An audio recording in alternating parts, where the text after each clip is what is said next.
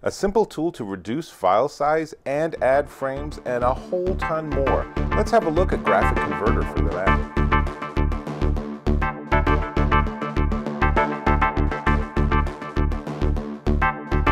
Dave Taylor here, and I thought it'd be fun to go through some of the basics of how to prepare an image for the web by using Graphic Converter on the Macintosh. So, I have an image here from my friend's company HeroMuster, and it's pretty big. So we're going to need to shrink it down and I'm going to go ahead and add a small border to it. So let's get started. I'm going to launch it and this is Graphic Converter. It is shareware. Yes, they still have such things. And you can download a copy from this URL super easy and this is a ridiculously high feature or super powerful software program I've been using for many many years. You can do photo editing in it. There's a ton of things. In fact here let me show you. So here's some of the effects. It even scrolls off the screen and then there's all these filters. You can do things like I often will do blurs on a specific area and it's just kind of crazy. It does layering, and if I bring in, let me actually move the toolbox in, you can see here's the handy shortcuts for all the different features that you have. We, however, are just going to do two things here. We're going to shrink down this image because as you can see here, 3000 pixels by 1900 pixels is a lot bigger than I want when I post it to Twitter or Facebook or Pinterest or anything. And then once we do that, the graphics really cool. We're going to close this. The graphics really cool, but I'd like to add a very thin black border on the edges just so when it's posted on social media, it doesn't just sort of blend into the greater um, background. So first off, resize. And that's easy. Picture, size, scale. And then I'm going to go ahead and you can see here that we can do it by percentage, we can do it by pixels. Let's just say we want to have it be a maximum of a thousand pixels. And notice that the height changes commensurately because it's proportional. Now if I wanted it to distort and fit into a specific height and width, let's say we wanted it to be 500 by 1000. So now I'll turn off proportional and then we'll go back here. So now we have 1000 by 500 and if we do this it's going to look a little weird. Nah, not so good. We're going to Command Z and that undoes it.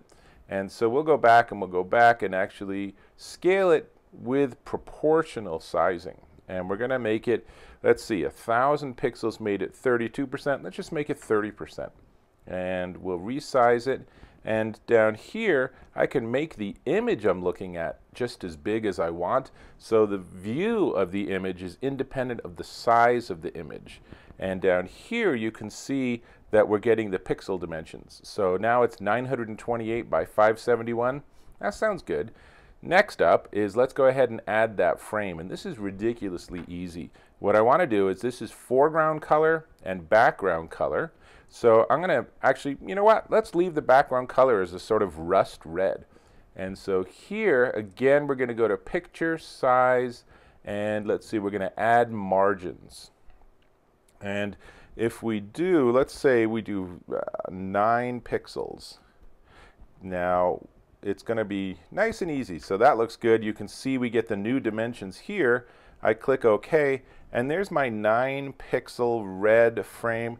That's a little bit much, so I can actually bring up that window again, and I can, let's subtract 5 from each one. And if you look very carefully on the background, there's a red line showing what's going to happen. Since it's red on red, it's not easy to see, but let's just do that. Boom. Now that's looking better, and we're done. So we've resized it, and we've added a border. That's pretty straightforward.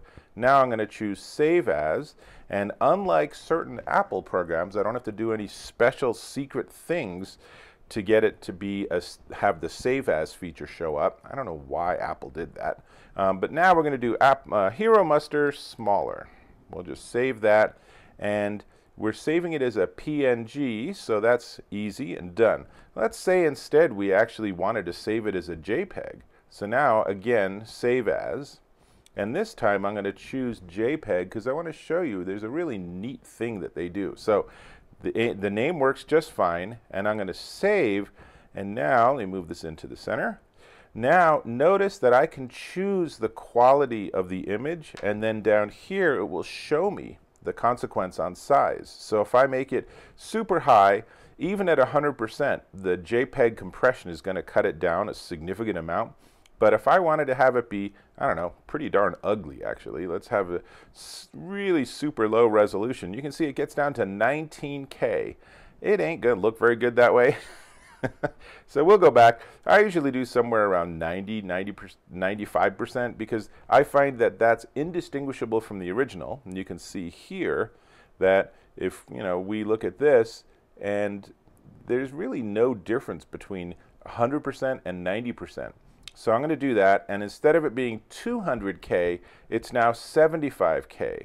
And I could actually make that even smaller by turning off all the metadata, but we're just going to leave all that because it's just, it's kind of work. So we'll do that, and I'll choose OK, and it's done. Now, let's go ahead and hide Graphic Converter and see what we have wrought. So here's our PNG, and here's our JPG. So let's see, and again, I apologize, I have to keep centering things.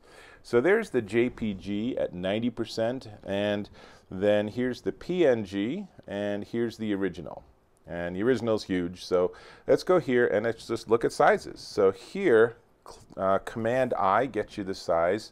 So that's 73K.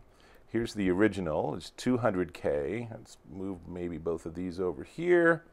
And then we'll just bring up this one, and that gets us down to 78K. So actually, this, the JPEG at 90% is slightly larger than the PNG. So there you go. If you're really, really obsessed with having the smallest possible file size, then sometimes it's worthwhile experimenting with different options.